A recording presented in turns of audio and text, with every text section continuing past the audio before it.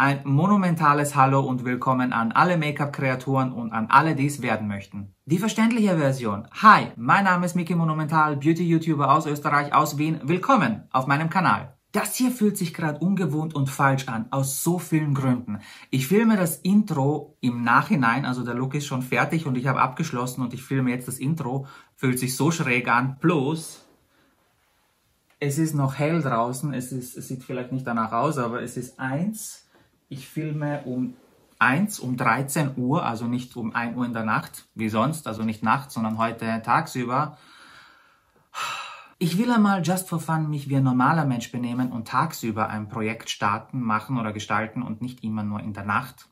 Du hast den Titel des Videos gelesen und du siehst, wie ich ausschaue, also willkommen zu diesem Valentinstags inspirierten Make-up-Look. Der Valentinstag naht bzw. steht vor der Tür und ich habe mir gedacht, ich mache einen Make-up-Look inspiriert zum Valentinstag oder für den Valentinstag oder solltest du irgendwie eine Make-up-Idee für den Valentinstag suchen. Das hier ist das Video dazu. Ich habe mich auf die Augen fokussiert. Die Augen sind ein bisschen intensiver, ein bisschen lauter ausgefallen. Wieso auch nicht? Ich finde, wir können es uns alle gerade erlauben. Da wir alle mit diesen Masken rumlaufen und die Hälfte von unserem Gesicht eh abgedeckt ist, fokussieren wir uns doch auf die Augen. Why not? Für die Lippen habe ich zwei Alternativen. Das ist die Nude-Version und gegen Ende des Videos wirst du dann auch noch eine rote Version sehen. Schreibe in die Kommentare, was dir besser gefallen hat, die Nude-Geschichte oder die rote Geschichte. Und damit das Intro und das Video nicht endlos lang wird, fangen wir einfach an. So, wie fangen wir an? Ähm, Base Teint ist schon fertig, das habe ich schon gemacht. Sämtliche Produkte, die ich verwenden werde, erstens einmal alle Produkte, die ich verwenden werde, sind selber gekauft und alle Produkte, die ich verwenden werde, sind in der Infobox auch gelistet. Jetzt wollte ich sagen geliftet, gelistet. Ich werde mir heute nicht den Spaß machen und die ganze Soße hier einblenden. Wenn dich wirklich was interessiert, mach die Infobox auf. Es steht immer was in der Infobox drinnen und wie gesagt, die, heutig, die Produkte, die ich heute zeigen werde, sind alle in der Infobox gelistet. So, wir schnappen uns ein Miro. Ich werde primen, also Eyeshadow Base unbedingt. Ich nehme mir die von Guerlain. Hier ein Drop und hier ein Drop. Base allgemein, Base auch wenn es jetzt für den Teint ist, äh, oder in dem Fall für die Augen. Ich tue das immer eher so einpressen, einarbeiten, also nicht hin und her wischen, sondern hier so einklopfen. Die Base fixieren werde ich mit einem schneeweißen Lidschatten, matt, ohne Schimmer, Glitzer, Partikel. So, beim Blenden passe ich eigentlich eh auf und ich habe auch wirklich Lidschatten, wo ich weiß, die funktionieren. Aber ein bisschen was krümelt immer runter und wie gesagt, der Teil ist schon fertig. Ich will mir nicht den Teil ruinieren. Deswegen trage ich loses Puder jetzt unter die Augen auf als Brösel Barriere, weil sollte irgendwas runterkrümeln, wenn ich dann fertig bin, wische ich das mit dem Puder einfach weg. Und auf einer Skala von 1 bis 10, wie spooky schaue ich aus? So, ich schnappe mir meine Jeffree Star ähm, Blood Sugar Palette. Na, komm, geh auf. Leider geil, egal ob du Jeffree Star magst oder nicht, ähm, seine Lidschattenpaletten kannst du einfach nicht ignorieren. Sie sind gut es ist, was es ist. Er ist vielleicht ein Trottel. Die Lidschattenpaletten sind einfach gut.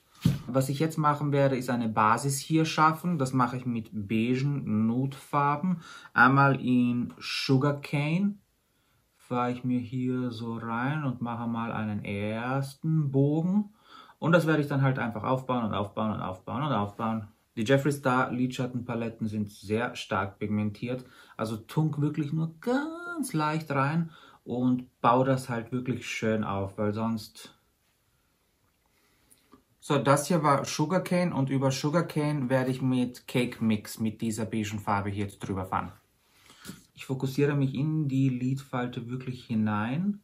Also da kommt mein Main Produkt rein, die Main Concentration am Produkt und die Reste ziehe ich dann halt ein bisschen hier so hoch Richtung Augenbraue. Ich finde Blenden erklären irgendwie urschwer. So, ich hoffe, man kann schon was erkennen. Wenn es nicht weich genug verläuft, nehme ich mir äh, einen Blender, noch einmal einen, aber einen, wo nichts drinnen ist, also einen leeren, sauberen und fahre hier noch einmal so drüber, um das Ganze wirklich weich verlaufen zu lassen, also dass wir wirklich keinen Übergang sehen. Rot ist die Farbe der Liebe, also wird der Look rot. Ich nehme mir Prick, dieses ganz, ganz helle Rot und werde damit jetzt über diesen Bogen drüber fahren. Und dann werde ich das intensivieren mit entweder Cherry Soda oder Blood Sugar. Ich bin mir noch nicht sicher. Also das wird meine rote Base und dann mit entweder mit der oder mit der werde ich dann drüber fahren, um die Tiefe zu kreieren. Also wie gesagt, die sind sehr stark pigmentiert. Ich bin hier eingetuckt und werde das hier zusätzlich noch einmal hier abwischen.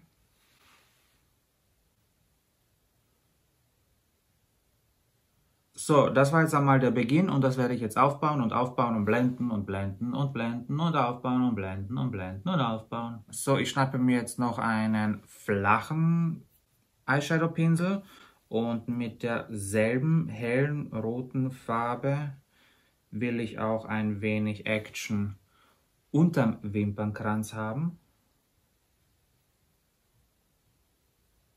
Sondern die volle Konzentration von diesem äh, Prick roten Ton will ich auf dem beweglichen Augenlid haben.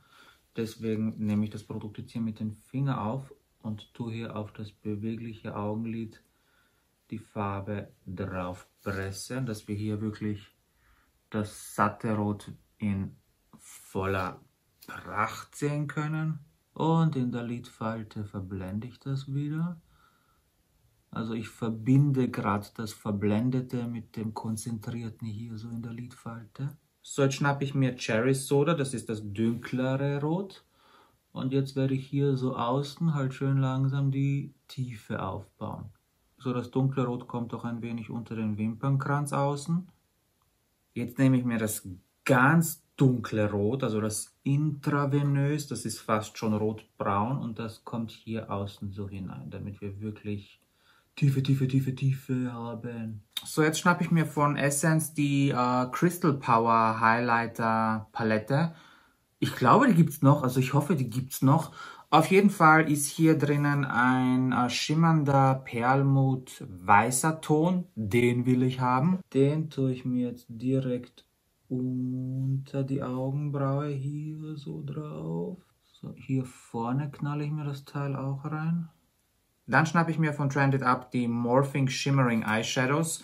Uh, die wurden ja jetzt renoviert, die waren im Sale, habe ich in meiner Story gesagt. Also das sind fantastische einzelne schimmernde Lidschatten. Habe ich einmal erwähnt, also ich hoffe, dass ihr euch da ein paar besorgt habt.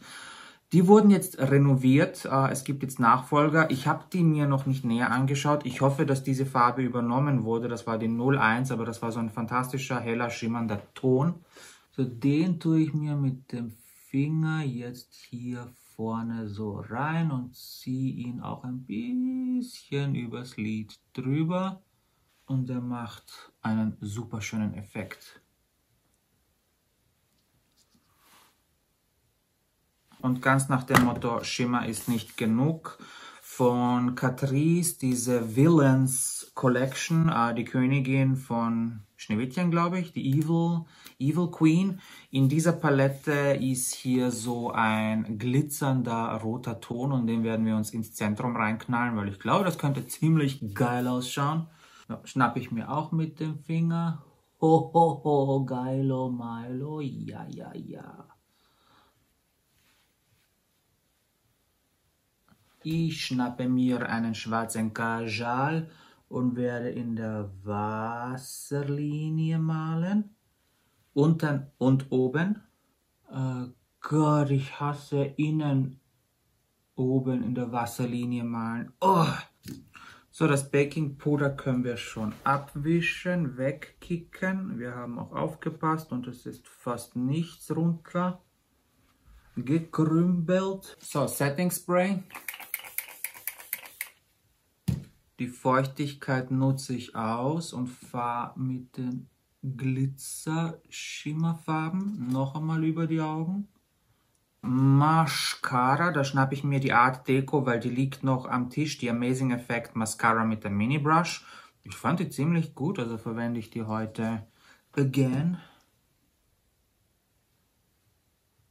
So, ich habe diese Dinger hier.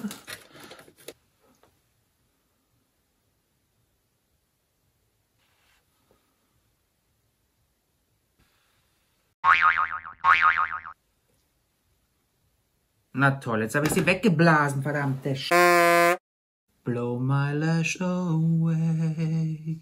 Hm, das ist nicht symmetrisch. So, die Suppe lassen wir jetzt einmal trocknen. So, keine Ahnung, wie das in der Kamera ausschaut. In Realität sieht es ein bisschen vergewaltigt aus, denn ich habe ein paar Wimpern kürzen wollen. Also nicht meine, sondern die aufgeklebten und ich habe sie